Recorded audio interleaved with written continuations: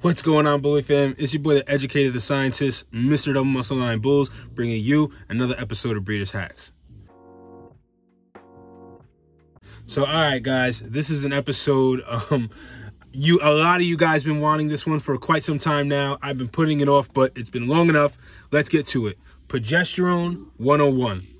So, as I said, um, this is an episode I've been kind of putting off because of the fact that I knew it was going to be jam packed. This is actually the first episode that I le legit had to get my notebook out and write down my notes to make sure I covered everything in this episode. So, this episode, for people that already know about progesterone, this episode is still going to be super helpful because this is great to be able to share with your clients. Say you're a breeder that understands progesterone, but you have clients who may breed to your studs and things like that. This is a great video to send to them so that they understand why they need progesterones done, um, as well as understanding proper timing and things like that. So it just makes it easier on your part, as well as. Um, if you're someone who wants to understand progesterones, you may not be as familiar with it. Um, this is a great episode. And I mean, hey, even if you do understand progesterones, I'm, I'm sure there's something you can learn from this as well. There's always, you could always learn something new. So anyway, that's what this episode is about today. We're going to cover um, A to Z when it comes to progesterones, especially in today's day and age. Um, a progesterone testing is really a must, 100%. Eh, eh, you know, most breeders do it now. It's pretty much a gold standard, um, as well as it just ensures that your breedings take. A lot of breeders will make it mandatory if you're going to breed to their studs that you get progesterone testing done. Like I said, pretty much everybody does it. Everybody does it now, and I mean, it's it's it's definitely the most accurate way to um, ensure that your breedings are taking. So, what is progesterone, right? Progesterone is the hormone that's associated with um, heat cycles as well as um, pregnancies, you know? So like I said, what's so great about progesterone is we're able to measure it in units, which allows us to time when is the most optimal optimal time for breeding as well as when it's the most optimal time for when we have puppies and we can actually time our C-sections correctly, which I'll cover on a little later in this episode. So the way progesterone works as far as testing goes, it's actually really easy. You could even do it at home. So the way it works is you're actually going to um, draw the blood from the dog, right? You're to draw the blood. Um, and you'll take that blood, put it in a, in a centrifuge tube or whatever the case may be, and you're to spin it down. The goal is to separate um, the serum from the blood um, when you when you drew the blood. So you'll have a, the clear serum on top, and you have the red blood cells at the bottom. So you're going to take that clear serum on top and usually mix it with like a buffer. And uh, long story short, you take that blood sample, you're gonna go ahead and, and throw it in your progesterone machine and um, it's gonna give you a number. And that based off of that number is gonna tell us where we're at when it comes to whether we're breeding or whether when we have puppies do. So um, when breeding your female, say your female comes into heat, um, you usually have a two day window when she's most fertile. Meaning, um, if you breed her in that two day window, um, you're going to get a nice size litter, things like that. But say you don't do your progesterone testing, um, things like that, what can wind up happening is if you miss that two day window, you can either get smaller litters because your timing, you know, you, you didn't do progesterone testing, so your timing was off, or you can wind up with the breeding not taking at all because you didn't breed her when she was fertile, you know? So those are the two things that could generally happen when you're not doing a progesterone test. Um, but if you are doing progesterone testing, typically um, you are going to do your first artificial insemination, breeding, even if you're doing a natural tie, whatever, um, you're going to usually do that 48 hours after ovulation. So um, that's just something to be mindful of. That is going to be when you do your first AI. So typically that's going to be at the number 15 nanograms per milliliter, right? So at, a, at around a 15, 48 hours after ovulation, that is when you're going to want to AI the dog, um, the female. Now, um, one a few things to be mindful of is the first thing is this is what we use here in the US, nanograms per milliliter, right? That's um, how we measure our progesterone levels. Now, in Europe and things like that, in other countries, they may use something called um, nanograms per mole, which is a different form of, of measuring the progesterone. So that is also something to be mindful of is when someone is telling you, say you have a client that's telling you, um, this is what my dog's progesterone level is, or even if you're getting the dog tested and you're telling someone else, whatever the case may be, you want to be mindful. How are they um, measuring the progesterone? Because if it is at um, nanograms per milliliter, that's pretty much the gold standard here in America. That's what we use. That's cool. Most people will be going based off of this. But you do have some people who are overseas um, and they're going by nanograms per mole. Now, nanograms per mole is a much higher number than the numbers that we have here. So, in order to match up, let's just say um, nanograms per mole versus nanograms per milliliter. So, for example, let's just say we have 45, someone tells us they have a 45 nanograms per mole, right? 45, um, that's the number that they're pulling, right? Well, in order to convert this to what we're usually using, which is nanograms per milliliter, you would divide that by 3.18. And that would give us, um, we would be at like a 15 nanograms per milliliter. Just to give you guys an example. I know I write chicken scratch, but long story short, you take um, 3.18 and that's what you divide against um, the nanograms per mole. Um, and like I said, that's what they use over in like Canada and things like that. Uh, I'm sorry, not Canada. I had somebody contact me from Canada with it, but different countries. I mean, um, they're all different, but here in the U.S., for the most part, it's always been um, nanograms per milliliter. So I wouldn't get too caught up and too crazy into that, but that's just something to be mindful of. If somebody contacts you and say, hey, you know, my dog's a 45, I'm ready to breed. You know what I'm saying? Um, and they're not telling you if it's nanograms per milliliter, per mole, something to be mindful of. Now, a second part of this, right? Another thing to be mindful of is we're going based off of um, our machine, right? We use the Wondfo Fine Care um, progesterone machine. It's very close and very similar to the IDEXX chart. Um, it's, it's, I, I believe it's off by like a point or two, something along the lines like that. But for the most part, um, yeah, this is what it kind of goes based off of, at least from the front half, from my understanding. But um, there's different charts out there. So different machines go based off of different numbers. So for example, Mini VIDAS goes off of a different number. Um, and so on and so forth. So what I'm just getting at is that's another thing to be mindful of is what machine um, are they using? And I'll put a little picture here, something like that as a reference, because um, I have a comparison of like IDEXX versus Mini VIDAS and things like that. So there's different machines as well, which will give you different numbers. It's still the same concept as far as ovulation, AI, things like that, but the numbers may be different based off of the machine. So that's why I get a lot of people who contact me and say, "Hey, should I breed at this number? Should I breed at this number? Um, what number do you breed at?" And I try to tell them, well, the first thing is who is doing the progesterone testing? What is the machine? Um, what it, does it run off of? You know what I'm saying? Chart wise, is it is it is it Wondfo? Is it an IDEXX machine? Is it a Mini VIDAS machine? You know, um, things like that. You know, so that's just something to be mindful of. You know, um, what machine? So this is based off of our machine that we use that we have on BreedersHacks.com. Um, but like I said, guys, you know, um, that's just something to be mindful of when they're doing your test. You can't compare this if this is a mini VIDAS. You would have to change the numbers up. So that's important to ask who's ever running the test for you because, for example, IDEXX, you'd want to breed around at a, like a 15, but mini VIDAS, for example, is about twice as high. So you'd want to breed at like a 28.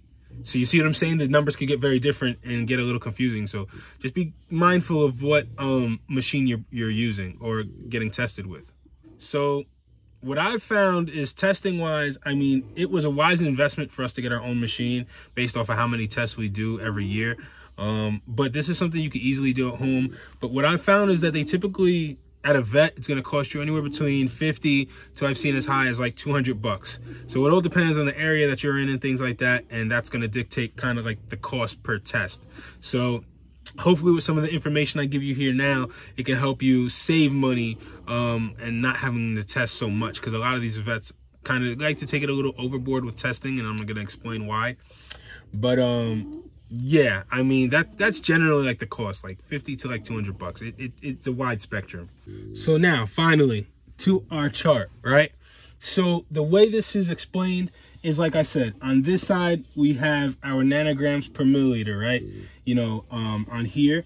And then on this bottom part that I drew is pretty much our days in heat. So this is going to be the standard heat cycle for about 70% of dogs. Um, especially with the exotic bully, what I found, and this is just my opinion, is that um, these dogs have been bred to be so masculine that there's an, an excess of testosterone in the females.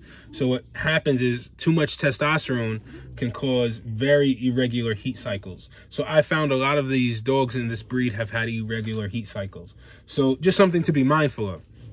So that's why, um, in my opinion, you can't go based off of the old school pit bull way of first sight of blood, then you typically breed from day 9 through day 13 you know? Um you, you may have some luck with that but for the most part i wouldn't go based off of that you know? Um at least with this breed. So with that being said um this is how we look at the dog's heat cycle. So the first sign of blood that's your day one. That's when you're counting day one. Um when somebody asks you hey what day is she? Um that's your day one. So and then you you progress from there. So on day five day 60 whatever like i said that was your first day sight of blood. So that's definitely something to be mindful of especially with females that have more of silent heats and things like that. You can take um you know like i'll take uh, a tissue paper or something like that and, and, and wipe quickly to see if there's some blood. Um you can even take like a cotton swab and you know push push that into her vulva um, ever so slightly just to see if you got some blood on it, you know, things like that. Um, like I said, especially with females that have silent heats, you know, you want to be mindful of that because um, if you're negligent, um, that can really kind of hurt you. So anyway, first sight of blood, that's your day one. Um, generally, what I do is around day five to, I would say, six or seven, the latest, I would get my first progesterone test done. That's just me. I would get my first progesterone test done because what's most important to me is not so much that she's a 15, but I want to make sure I'm catching ovulation. That's what's most important to me, you know? So typically around day five is when you'll see the start of ovulation. So typically what you would want to do is 48 hours after ovulation is when you're going to want to do your first AI. That's when you're going to want to do your first breeding. And typically she would be about a 15. You know, that's the ideal scenario. Um, 48 hours after after ovulation, she's a 15, you do your first AI, you know? So, um, before day 5 though, she her numbers are going to be very very very low, very low. You know, um anything under I would say based off of the uh, the Wondfo machines, um, she's going to be under a two, you know, for sure. And then once you hit day five, she'll be like a two and up, you know. So with that being said, anything before a five, day five, you know, uh, uh, the ovulation, she's probably not going to be very flirtatious with any dogs or anything like that. She'll probably be acting, you know, mostly like her normal self. From day five to generally day 13, or from you know um, a five progesterone generally to like your 15 to 20 mark um, she's going to be very flirtatious. You know she's going to want to allow studs males to mount her to do the breeding and things like that. She's going to be a lot more flirtatious you know? Um, and as you get closer to your 15 to your ai mark um, 48 hours after ovulation um, she's going to become more and more flirtatious. Where in the be- like in the beginning of it, she may allow them to to smell her and whatnot, but she probably won't let them mount her. Um, as soon as she gets closer to your AI mark, that's when she's going to going to allow um, males to mount her and things like that. And that's also a great indicator to tell, okay, you know what, it's close to uh, time for breeding. You know, um, I had an instance once that uh, a client of mine, um, he missed when was the first day of blood. Um, I went over, and that was one of the sure signs that I saw. It was that she was allowing the males to try to mount her. So I said, you know what? Let's do a progesterone very fast since you don't know what day she started bleeding. Sure enough, she was about ready to go. So we did that breeding. Um, with that being said, another sign as well that you're closer to this mark, other than doing a progesterone, is the blood. Usually when she's in her first days of, of, of sight of blood, um, it's a very dark blood you know and as you get closer you know to your day 9 11 13 um and get closer to your 15 your AI day, um, it's gonna get more pinker. You know, it's gonna get very light in color. So those are also things that I go based off. I go based off of progesterone, but I also look at those other things as well. You know, and that kind of helps guide me. You know, so like I said, I'll look at the blood. What color has it gotten darker? Has it got? I'm sorry, has it gotten lighter? Um, I also look at, like I said, is she allowing the males to uh, mount her? I strongly believe that males have like the best progesterone machines in their noses, you know? So allowing a male to kind of dictate and tell you what's going on is also going to help a lot if you don't have a progesterone machine, you know? So um, those are other things to be mindful of as well. So generally what's happening in this cycle is, like I said, she's bleeding and then um, she's releasing new eggs. When she has the new eggs, they have to mature. Once they mature, it's time to fertilize them. Once they're fertilized, that's when now your dog is pregnant. We wait our 60 days, you know, pups are born, you know. Um, so with that being said, um, some things to be mindful of, right? When you're doing this whole um, progesterone timing thing, some of the things that you need to be mindful of is, is the semen being shipped? If so, then you definitely need to make sure you're on top of your progesterone timing.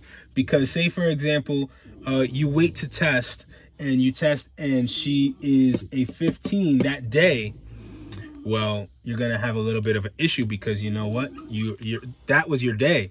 So if you have to wait for semen to come in, um, and it won't be until the next day, then you're going to have to do a surgical because she more than likely will be a 20 plus. So that's another thing to be mindful of. And I should have said this sooner is 48 hours after ovulation is when you're going to do an AI. But about 72 hours after uh, ovulation is when you're going to do a surgical. Don't mind my chicken scratch. You're going to do a surgical 72 hours after um, ovulation. So that's another thing just to be mindful of um, is when you have um, semen being shipped, this is something you also have to put into account because it will take at least a day to get to you. Sometimes it could be two days, which yet again, this is something you want to all be mindful of going into this.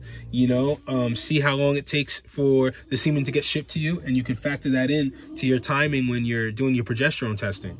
So another thing as well that you need to be mindful of that I just thought of is when you're doing your progesterone testing, some vets don't have a machine in their um, facility. Some vets actually have to take the blood, and I have an episode on how to package up the blood and ship it out. But long story short is they package the blood up and they ship it out to get tested at another lab. They don't have an in, in-house lab. So that's one of the biggest things if I was to do a progesterone testing from through a vet, that is the first thing I would ask them is I would say, how long does it take to get my results? If it's at 15 minutes, then I know they have a machine in house.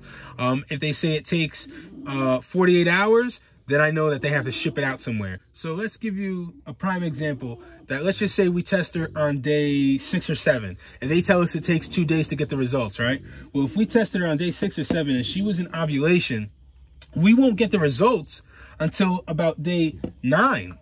So if it takes, if we did a test on day six or seven and we got the results on day nine or 10, she may be ready to breed on day nine or 10. And they're giving us the results from two days ago. So the thing is, is that two results from two days ago are only good for those two days ago. So now, let's just say you did a test and it was on Monday, and now uh, they're giving you the results on Wednesday, those results on Wednesday were only good for Monday. So now she's a completely different number on Wednesday, if that makes sense. So on Monday, she could have been a five, but on Wednesday, she could have been a 10. And that makes a humongous difference.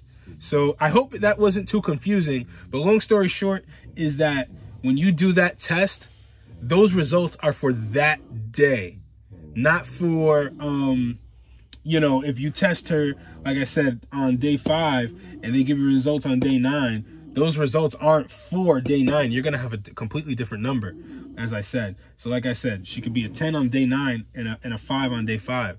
But if they're giving you results from day five, even though it's day nine, the results are going to be this number, not this number.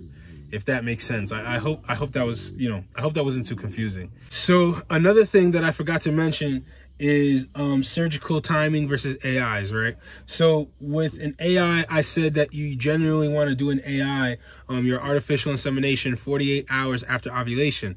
Well, with a surgical, you're typically want to gonna want to do that 72 hours after ovulation. Now, the reason being though is because of the fact that with a surgical, it saves the semen about a day um, in having to swim to where um, the eggs are. So, for example, with a surgical, a vet is actually going to make a small incision and place the semen right at the horns, right where um, the eggs need to get fertilized. So it saves them a day in having to swim. Versus if you did an AI, um, right from where the AI was, you know, from the vulva, it has to travel all the way through and to to get to the eggs, which takes about a day. So that's why you would do a surgical a day after um, your AI day.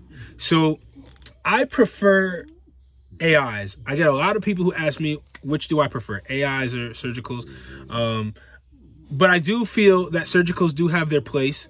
Um, and I would say, for example, if timing wise, the she the semen couldn't get to me on time, um, and we were looking at closer to this 20 year mark, I, I would do a surgical, no problem. I believe surgicals have their place.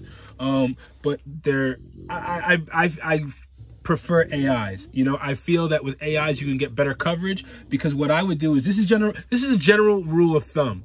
But with an AI what you can do is I would breed and and this is just ranges because the semen can live for 24 to 48 hours. So if you did a breeding at a 12 uh, nanograms per milliliter and you did another AI at about an 18, you'd have some really nice coverage because if you did um, a breeding here at when she was like a 12, skip a day, and then breed again the following day, um, you have a really nice window um, that you're making sure that you're hitting. So if you were at a 12, generally um, the next day she would be about a 15. Then the next day she would be about an 18.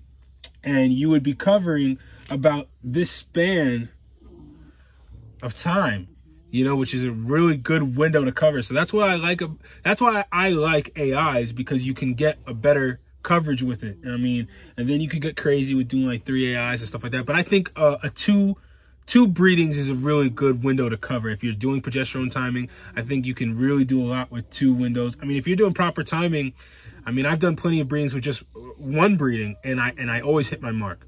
So just something to be mindful of. That's why I prefer AIs. Um, that's why you do surgical 72 hours after ovulation instead of 48 like an AI. Um, just some background information. And I cannot stress this enough. Don't get stuck on one specific number.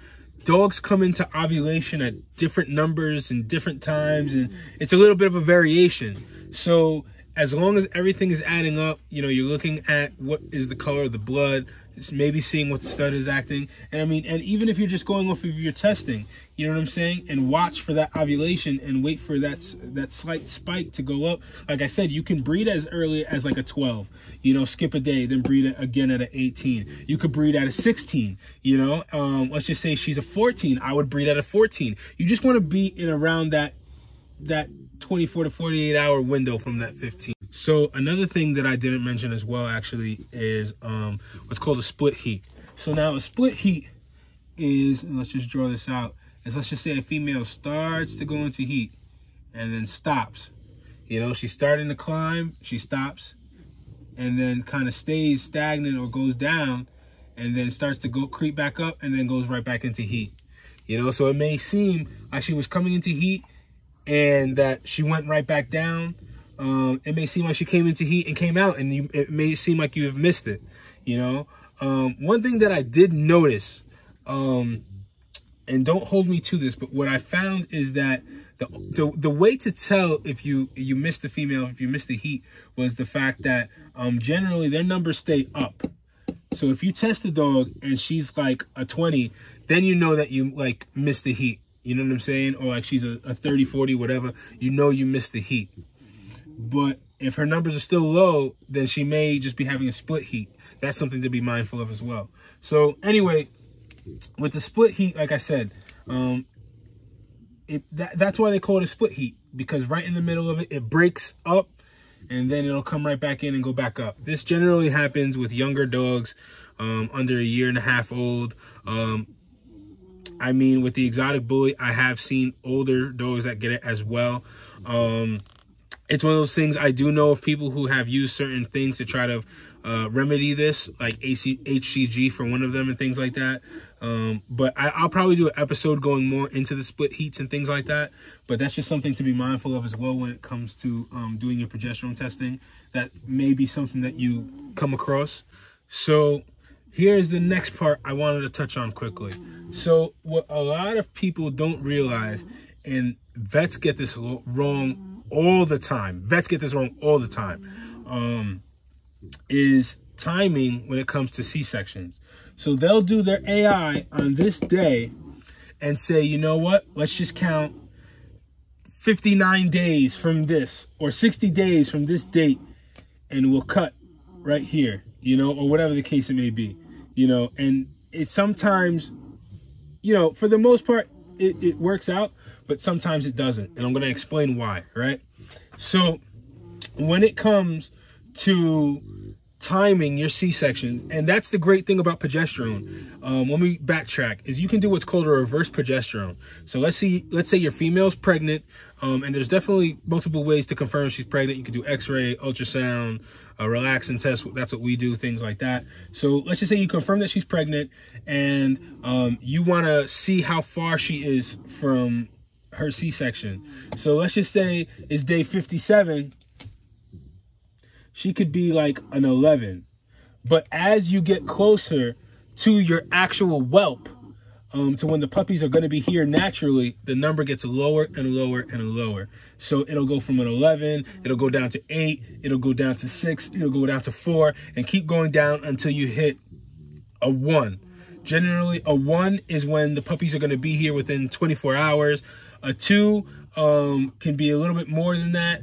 Uh, a three is generally within like 48 hours, you know, um, and anything over a three, you don't want to do a C-section. So a three and under, a three and lower is safe to cut to do a C-section. Anything higher than a three, you want to wait because I've seen dogs where they've dropped down to a four, then they go back up to a five, you know, and this could be for days going on. So some of the dangers of not having your C-section timed correctly um, when doing a reverse progesterone, and the thing is, is this, right? If you're breeding exotic bullies, it's a, it's a must that you get C-sections. It's almost unethical not to, you know, this breed, um, it, it's very unrealistic to expect this breed to um, have puppies naturally. So that's, I'm talking about the exotic bully. Um, I also kind of recommend this for American bullies as well, but um, that's just my opinion.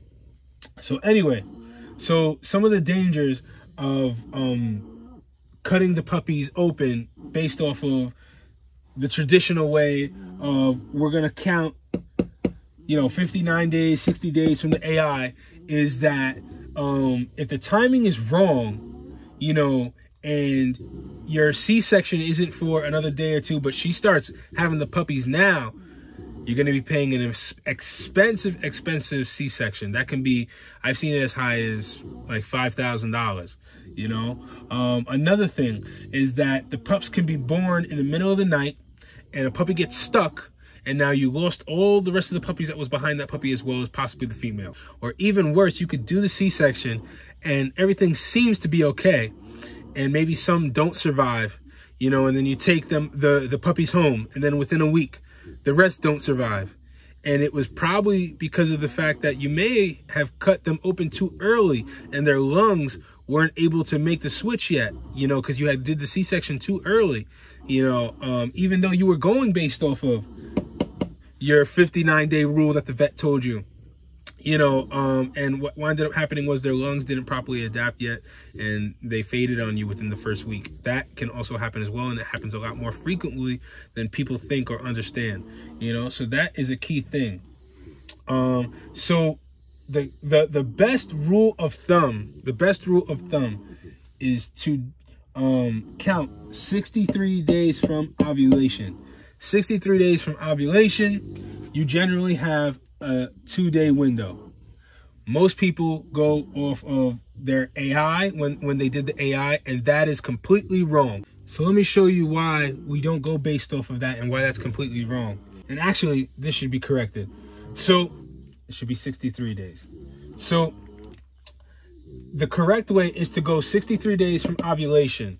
Now, the reason why I believe it's flawed and why a lot of people go based off of the AI day and why, in my opinion, it is the incorrect um, number to go based off of is because of the fact that she is going to have the puppy 63 days after ovulation. If you go based off of AIs, here's where you can run into problems. So if you if you AI too early, let's say you AI too early, what's going to happen is we should have let's say maybe you didn't get a progesterone test done or your progesterone was done inaccurately, whatever the case it may be, um, and you breed too early. What's going to happen is she's going to go into a natural well she you have day 63 you have a two day window but let's just say you breed too too early well that is going to put you a day or two before your two day safe window to cut the do the c-section which will in turn lead to premature puppies. Premature puppies, um, if you've ever dealt with premature puppies, I mean, it can be a real hassle.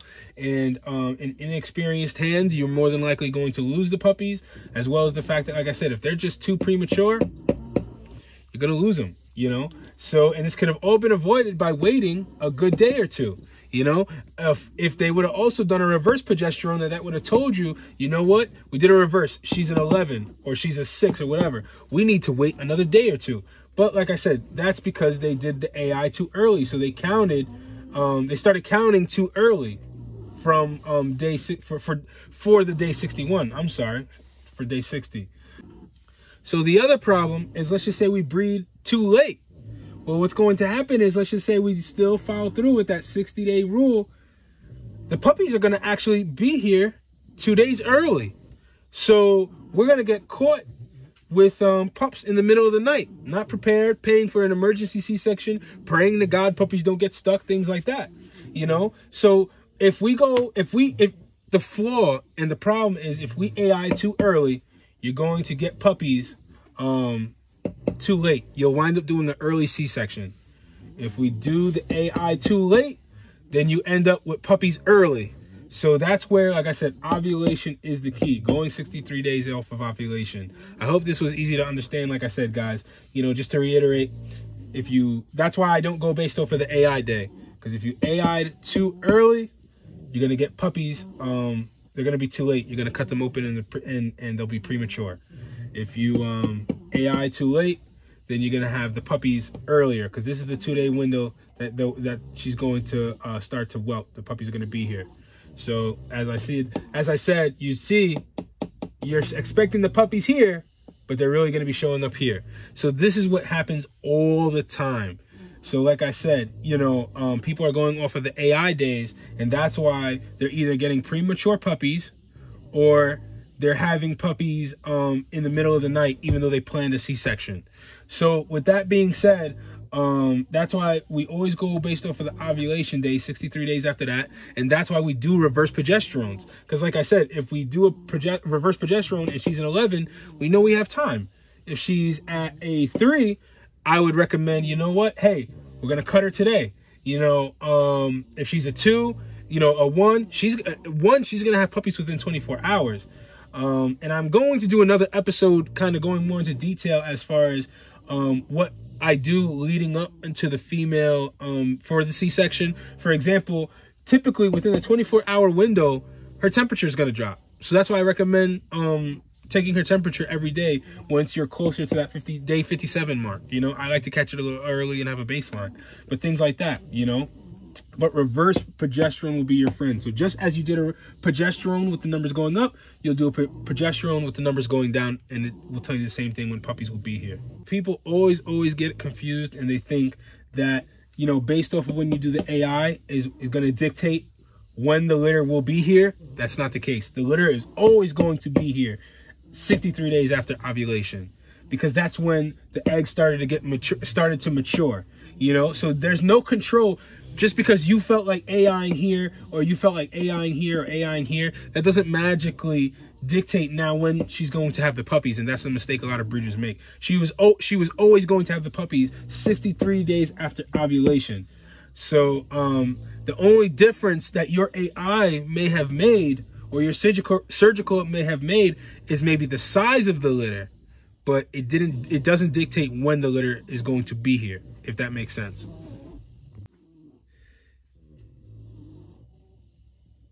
And another thing, and another thing to be mindful of, and another thing to be mindful of is before you even think about doing a C-section, you're going to want to confirm. You don't want to cut a female open just because you thought she was pregnant and you find that there's no puppies there.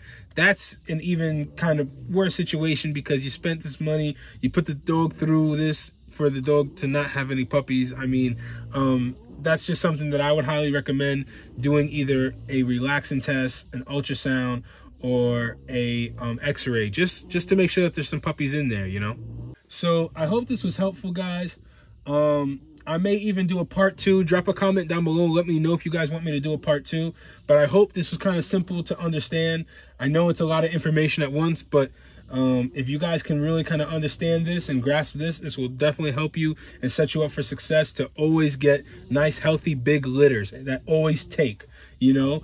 And um, for people that may not have access to a progesterone machine, if you had to ask me, what I would suggest is do your breed, breed on day 9, 11, and 13 if you have no progesterone machine at all and you know you have a good that will give you a good amount of coverage and hopefully the breeding takes but nothing can be guaranteed you know? But with this gives you the most accurate results you know? I've seen this compared to um, vaginal cytologies where vaginal cytology is where they take um, a smear from the vulva of the female. They look at the eggs on the on the microscope you know and based off of how the eggs look on the microscope um, I'm sorry, the cells, how the cells look on the microscope.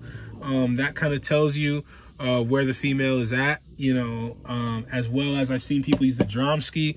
It's a long rod that they go ahead and insert in the female and it goes off of like electrical currents and stuff like that. This is the most accurate.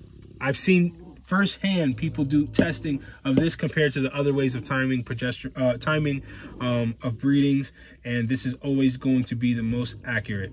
So if you guys got any questions, drop a comment down below. I hope this information was helpful, guys, and I see you guys on the next episode of Breeders Hacks.